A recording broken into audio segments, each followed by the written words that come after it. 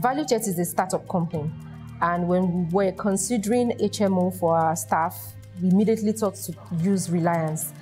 Reason being that Reliance understood our pop culture here in ValueJet. We have lots of Gen Zs in our in our organization, and one of the things they enjoy is if they could access you know, services online, virtually, or have their medications brought to them. And Reliance had that in a globally competitive organization such as ValueJet, it's important that safety comes first, then you are airworthy. And that's important for all our technical staff. And Reliance HMO has been able to come true for us in that, you know, in that regards, in the sense that every member of our technical team and our airworthy team or our flight operations team they do not have to leave their seat to get medical attention.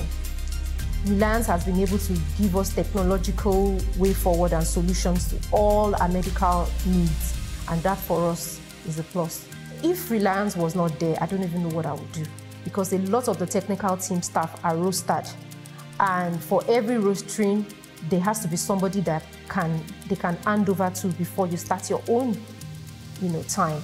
And thank God for Reliance HMO. If they weren't there, absenteeism would have been a major flop for us as a startup, and NCA would have flagged that for us. And since NCA has not flagged that since we started, to me, that's a plus on Reliance. One of the days that um, Reliance actually came through for us was two of our staff on the outstation fell ill, and we were panicking on what to do.